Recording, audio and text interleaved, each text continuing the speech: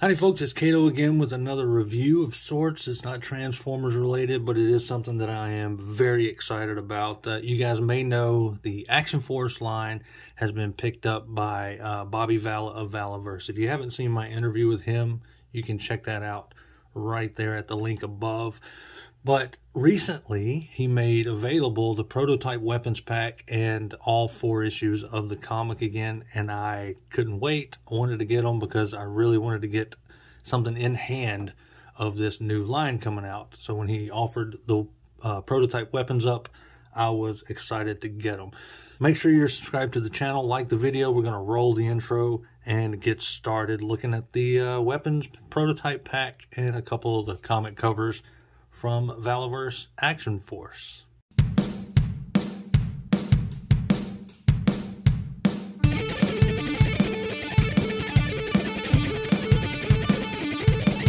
It's Kato!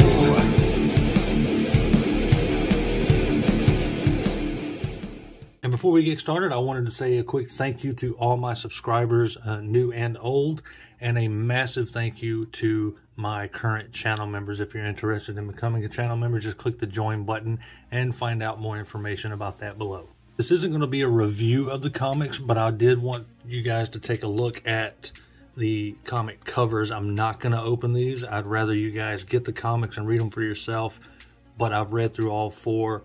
They are fantastic wonderful stories and a great way to get to know the characters that you can get from Valaverse. But uh, here's cover number one, showing the swarm here. Really great artwork and great story. You got number two, great artwork there. Number three, oh, great character, very cool. And number four that introduces the Sarge, Sergeant Slaughter. This is probably my favorite of the four books so far. So here's how the weapons come packed to you. You can see them all individually wrapped uh, or polybagged in there, Ziploc bagged. Uh, you've got all sorts of weapons in there and I'm gonna go through them. We've got a nice little bio there. Looks like an email sent. You can read that if you wanna pause and check that out. But this is what I was most excited for because I really wanted to replace the weapons that came with um, the classified Joe stuff. So let's open it up and see what we got. So when you pop that bag open, you get a few different poly bags or Ziploc bags. Here you've got the edge weapons, knives, sickles. Uh, I think there's a combat axe in there. I'll open all these up and check them out. Actually, let's go ahead and do that one at a time. So first up, we'll take a look at this gherkin. Nice serrated edge on one end, curved blade. Very cool real world blade. Love that. One of your Bowie or survival knives, serrated at the top. Long heavy blade. Your combat axe looks very cool. You can see the taped handle there down at the bottom. Now the prototype weapons are all black. Uh, the final results will be painted. Here you have your sickle. That looks great. Your combat knife. Nice and sleek. Looks very cool. Now we've got a bag of sidearms, pistols, I believe an MP7 in there. First up, you've got your Glock 17. At least that's what it looks like to me. Look how that's molded. Oh man. You can see the ejection port there this looks so fantastic. Rail on the bottom. Here's your hand cannon revolver. Oh, wow. See, who would carry that? Slaughter? I think I'll give that to Sergeant Slaughter when he comes out. If he doesn't already have one like it. Wow, that looks absolutely amazing. I gotta be honest, I'm not sure what this is a model of. You guys let me know in the comments if you know. I'm sure it's real because that's how they roll, but yeah, if you guys know what this one is a model of, let me know. One of my favorite sidearms of all time, a 1911. Not fun to clean, but sure is a good shooter. Desert Eagle. See the rail on the top and the bottom. That looks amazing. And of course, your MP7 suppressed. I'm going to give that to Snake Eyes. that makes perfect sense for him. Look at that detail in there. That is brilliant. So with Snake Eyes here, let's get this this one out of his hand. And this is not bad. That, that was one of the better weapons that came with the set. But let's give him his a more legitimate MP7. That already looks better. Uh, let's see. Let's get his pistol out of here. Let's give him the 1911. Let's see if that fits in the holster. Oh yeah, that's perfect. That already looks better. Look at that. MP7, 1911 there in his holster. Drop his knife back in. That already looks loads better. And now with Duke, let's get his little Nerf gun out of here. Get that thing gone. Uh, let's give him, let's give him the Desert Eagle. Let's see if that fits. Oh, that's perfect. That looks so much better. With Cobra Trooper, he had this little weird thing. Let's drop the, uh, let's drop the Glock 17 in the back. Look at that. God, that's awesome. Next up, we got the rifle, one of the rifle packs. All right, first up, let's take a look at the AK-47, one of the most common rifles in the world. That looks amazing. Look at that, all straight. That is perfect. Let's see, we got magazines. Look at that. Removable magazines. Let's drop that knuckles to wood, bring that magazine up. Oh man, that looks amazing. Perfect for a Cobra Trooper. I think it's an MP5, like an SD6. Let's. That's what I'm gonna go with there. I could be wrong. Like an aim point scope, sights. Look at that. Look at that rail on the bottom. This is perfect. This looks a little futuristic, but it's a, I think it's a Kriss Vector. Look at that detail on there. Perfectly okay with these being all black. Pretty sure I'll give this to Roadblock or Gung Ho. Yeah, I'll give it to Gung Ho. That's what I meant. Sawed off shotgun. Perfect for Gung Ho. We're gonna take this warped turd out of his hand and let's give him, let's see if he can hold this very well. Can you hold the shotgun? Handle's a little weird. A little small sawed-off shotgun for Gung Ho. That thing looks, it does look pretty small for him, but I think it kind of makes sense. For Scarlet, let's get this crossbow out of her hand. Let's give her the SD6. That fit in there all right? There we go. Yeah, we can give her the SD6. Why not? Straighten the camera up, good grief. How does that look? Much better? I think so. Cobra Trooper.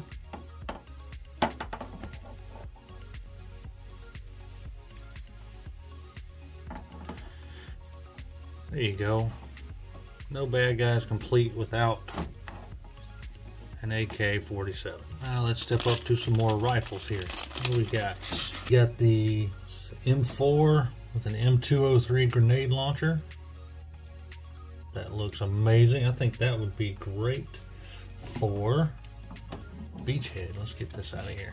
Let's give Beachhead this bad mama jamma here.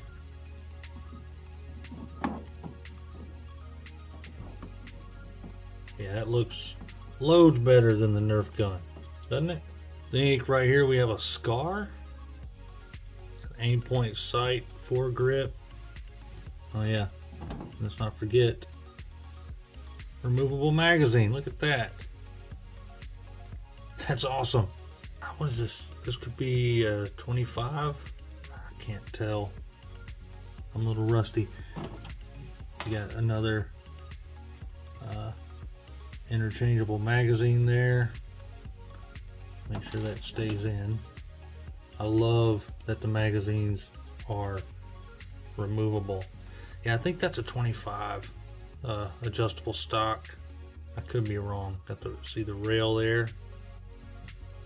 That looks amazing. I think that might be a good one for Duke. Let's give Duke that. Why not?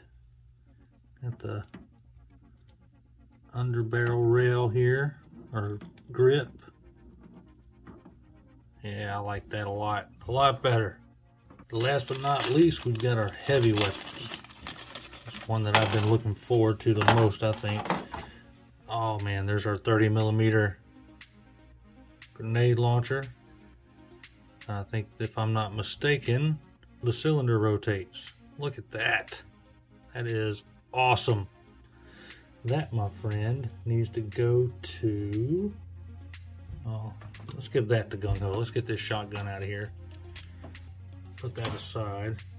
Let's give Gung Ho a nice, heavy grenade launcher. There you go. That's what I'm talking about. Here's one that I was really looking forward to.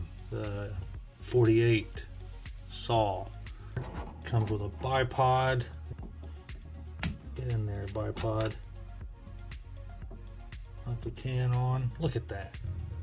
That looks amazing. For all I know, I've got the can on backwards. I don't know. But it works. Let's see. Will it go the other way too?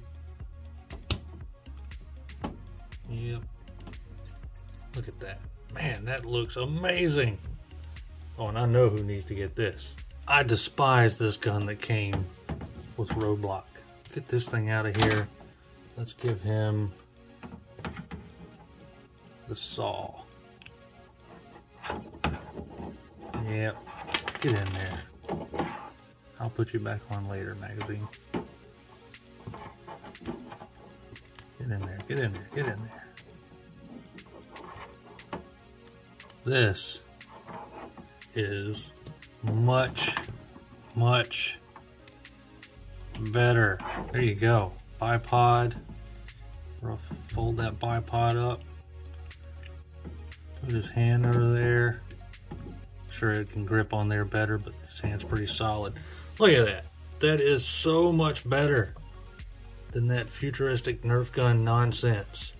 So there you have the whole crew with just a handful of the weapons from the weapon pack, and I cannot wait to put those horrible Joe weapons, the classified weapons in storage, and never ever touch them again. These look amazing. The build quality is fantastic. They feel strong and sturdy and solid. The sculpt is amazing. If this is any inclination of what we're going to get with the figures in Valaverse, I am glad that I'm pretty much all in. I just ordered everyone except for some of the uh, army builders and I didn't get I got one of the weapon weapon packs for the main line of Action Force but not the other and I may go back and get the backpacks because with all the magazines and everything that come in these packs, I believe the backpacks actually open up and are useful to store things. Be sure to like the video, subscribe to myself if you haven't already, then Sardo News by 82, Larkin's Lair, Enewtabie, the other Rejecticons. Guys, I'm trying to get 5,000 subscribers by TFCon 2021. Only you can help me do that, so if you're watching this video and you haven't subscribed already, hit that subscribe button. Until next time, be good to yourselves, be good to each other, and always play. This is Kato signing out. See you around like a donut.